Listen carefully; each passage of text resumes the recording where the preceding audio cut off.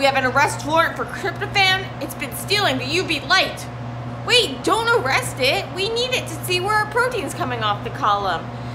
So tryptophan is the ninth amino acid or protein letter we're going to talk about, and it's the main protein letter that absorbs UV light. And this is going to allow us to, through a UV light detector, see where our protein is coming off a column when we're purifying it. And we can use um, spectroscopy, so like a nanodrop or something like that, to see how pure the protein is and with the help of Beer's law, see how concentrated it is. So how much protein we have in a certain amount of liquid. And so there's a lot I could say about tryptophan, like it's used to make uh, serotonin and melatonin and stuff. Um, it gets a bad rap because of the whole turkey myth, which is a myth, more in my post. But today I want to focus on the UV stuff. Long story short, the unique part of tryptophan is R group or side chain is this indole group. And it's like these fused rings which have are resonance stabilized. Electrons are kind of being shared throughout. And what this is going to do is it's going to lower the cost to excite the electrons. And so when you, you can excite electrons by absorbing light because light is packets of energy traveling in waves.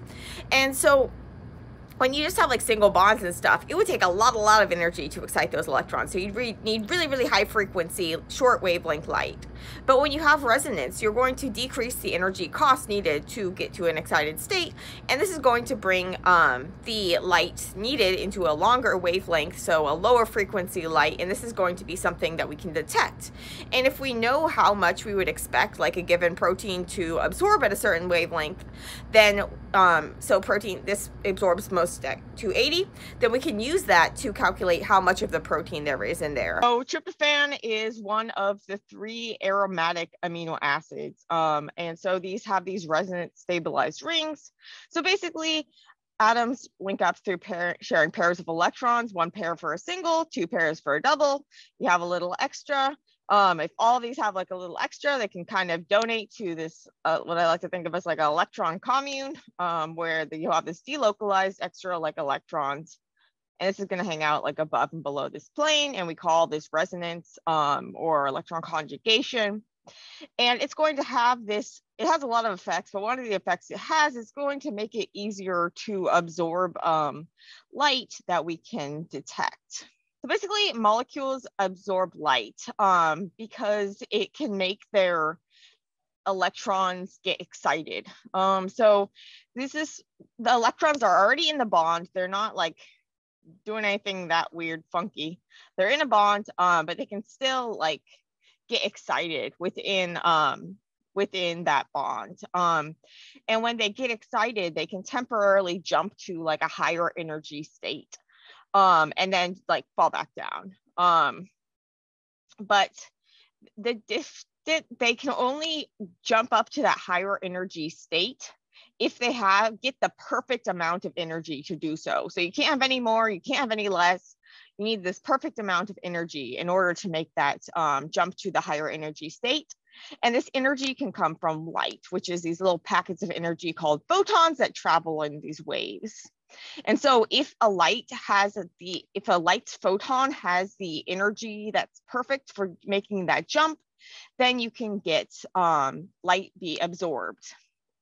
Um, and so the higher the energy of those photons, the shorter the wavelength um, and the higher the frequency. So basically all light has to travel at the speed of light. Um, so if you have something wiggling up and down and up and down with more energy, it's going to like make more up and down. So it's going to be have a higher frequency and it's going to have to be a shorter wavelength in order to not like just like run past all the all the slow guys. Um, and so the difference between these states, um, between like the high and the energy, high energy and low energy it's going to depend so ignore the fluorescence part but just focus on this. So the difference between the states is going to depend on um, the like molecular and the molecular like configurations and stuff. So what atoms are attached to what how um, and long story short, when you have resonance, it's going to decrease the distance between these states. So it's going to decrease the amount of energy that's needed to get to an excited state. And this is going to make it so that we're pushing the energy into a wavelength that we can detect. And so when we're talking about protein detection, we're going to be talking about ultraviolet light, which is more energetic, higher energy, um, shorter wavelength than the um, than like visible light, which is the light that we typically think of. So sometimes we have molecules, like if you have really extensive conjugation, like in a dye, um, these can be really close together. Um, and so you don't, you can use longer wavelength of light, like visible light to um, excite these electrons and then that'll like steal the light and so you don't see the light. And that's why those things will look colored. When we're talking about proteins absorbing light, we're talking about UV light. So the light that being that's being stolen is light that we wouldn't see anyway, unless we use a detector. So the things won't, won't look colored, um, but they will be detectable when we use a, a machine like a nanodrop or like a spectros, um, spectroscopy device, spectrophotometer. I can never remember the terminology. Um, so this is where you just have like a little drop, or you can do it in like a cuvette. Uh, this is actually showing nucleic acids in this picture because we can use it for both nucleic acids and proteins. Um, with proteins, your dominant absorbance is going to be at 280 um, with nucleic acids at 260. Um, and then you also get some absorbance from proteins at 230 from like the protein backbone. Um, and so when we're talking about protein absorbance, our main absorbance is going to come from tryptophan. Um, and so tryptophan, so all three of these are have this like resonance in these rings, which is going to bring the um, it's going to bring the distance between those the like relaxed and excited states of the electrons. It's going to bring that distance um, down to a point where it's in the range of our machines. Um, and so this is going to let us see this. So we, um, but tryptophan, it has the most, it has like the most resonance. So it has, it's going to absorb the strongest. It's kind of like you had even more, you have more places where you can have this molecule like absorb light. And so you'll absorb more light from this. So this can, um, so this is going um, what we talk about later when we talk about Beer's law, which we can use to convert the absorbance to protein concentration. If your protein has like a lot of tryptophan or not very much tryptophan, that can um, that can trip you up. Um, so if you have a, you can imagine if you have a protein that has a lot of tryptophan and then you see a peak and you're like, wow, I have a ton of protein, but really you don't have that much protein. Your protein just had a lot of tryptophan. Or you might see like a little peak and you'd be like, oh my God, I barely got any protein from that liters and liters of bacteria. And then it'd be like, oh wait, my protein doesn't have much tryptophan. So I actually have a lot more protein than I think. And so when we're using this thing called Beer's law to convert between the two, we can actually figure out the exact extinction coefficient. Um, so how much your specific protein would absorb, like the certain amount of your protein would absorb. And then we could put this into this equation um, in order to determine the concentration. So that is when we use, um, so when we're doing it like this, so you can see that what's, what's being absorbed is actually like a spectrum. Um, and so this is showing when you when you do like a spectrum spectroscopy and you get like a spectrogram, what's happening here is it's basically testing out, it's scanning a, a like a way, range of wavelengths. And so it's going to tell you the absorbance at every wave.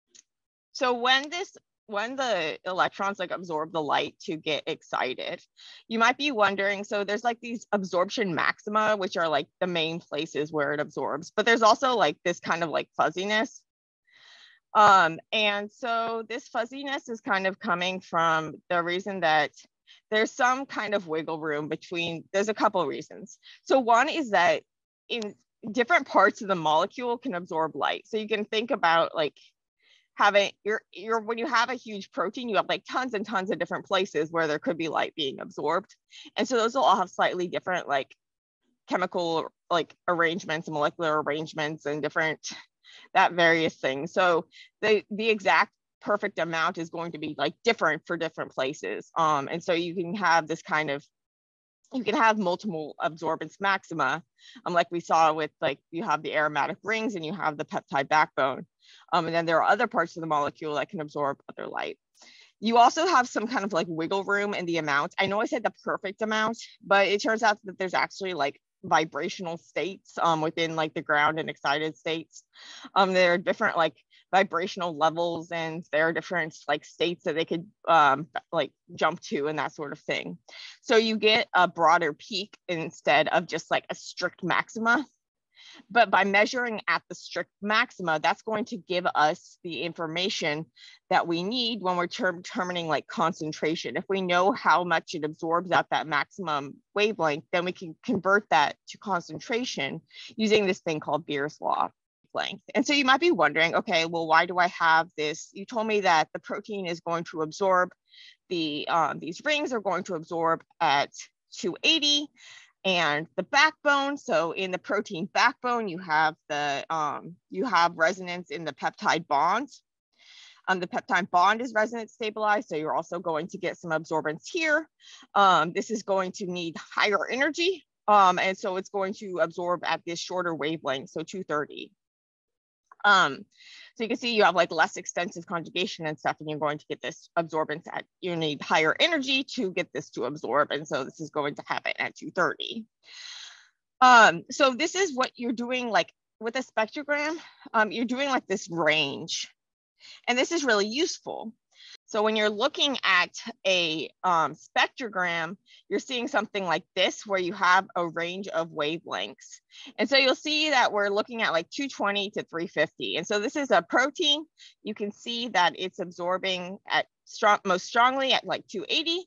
And then you also have this peak at 230 um, corresponding to like the peptide backbone um, um, as well as um, some other things can absorb there, which is why it's really important that you do a, um, you blank your spectroscoper too. Um, your um, spectrophotometer, you want to blank it. Um, so do a sample where you like control for your background um, because there are things like salts and um, imidazole and various things that can um, get in, can absorb UV light and then cause problems. So if you do this like wavelength scan, you can see like if you have nucleic acids um, contaminating your protein, um, it's harder to tell if you have protein contaminating your nucleic acid because you can see that pure nucleic acid, it absorbs a lot at 280 as well. Um, and so actually, um, so I purify a protein that binds to RNA and I can actually separate the RNA bound and non-bound. So you can see when it's bound to RNA. So this is showing you 260 and 280. Um, and so the 260 um, peak is in purple and then this 280 is in blue. And so this is protein alone. You can see and then this is, so you have some absorbance at 260, but it's a lot lower. And then when you have RNA bound to the protein, you have a higher 260 to 280.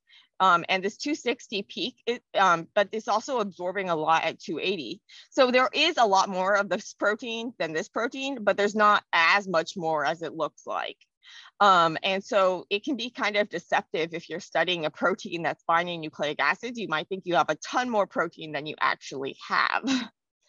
um, and this can also make it difficult to use uh, UV-based methods for determining the concentration. But anyway, so this is not a spectrogram. This is a chromatogram. So basically this is looking at these two wavelengths. This is not scanning wavelengths. This is looking at specific wavelengths. So we're looking at the specific wavelengths where we get the most information about the um, various component that when you're looking at a chromatogram, you're looking instead of your x-axis is going to be like time or volume. And so basically with a chromatogram, your protein is going through like some sort of chromatography column that's going to help purify it. And you want to be able to detect when it's coming off of the column. So when it's coming off the column, it's going to go like through a UV detector on its way to like the um, sample, the sample fraction collector.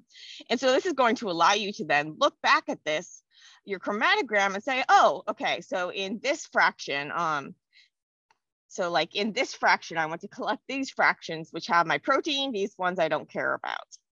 But when you're looking at the different peaks here, these are representing like different proteins coming off or different like stuff coming off. They're not representing different wavelengths like we saw before. And so that's why, so don't confuse the two when you're reading them. So we get the most information about proteins at 280 and the most information about nucleic acids at 260. And that's going to be like their strongest um, the strongest absorption of them at those. And so that's going to allow us to then um, figure out the concentration if we know how to convert between the absorbance there and their concentration. So Beer's law or the Beer-Lambert law, um, so it's going to go between the concentration based on how it absorbs light. And so basically you can think about the more your pro, so absorbance or um, A, so basically you shine light through a like a cuvette holding your protein, um, or through like a like a, the column of um, liquid that's formed in the nanodrop. Um, and then it's going to say, okay, how much of this light did not make it through? So how much of the light that I put through was absorbed? And so when you're doing this, you're going to be like doing a specific wavelength. So I can shine 280 light through and how much of it is going to get absorbed. So how much of it is going to absorb, get absorbed is going to depend on the extinction coefficient, which is specific for like the molecule you're looking at. So this is will be like specific for your protein and you can determine it with like software like ExPASy ProtParam, ProtParam. Um, and it's going to depend. So how, if your molecule absorbs wavelengths really light really well, like if your molecule has a high amount of tryptophan, it's going to have a higher extinction coefficient than if your molecule doesn't have much tryptophan, it's not going to absorb light much. Um, and so this is extinction coefficient is going to take this into account.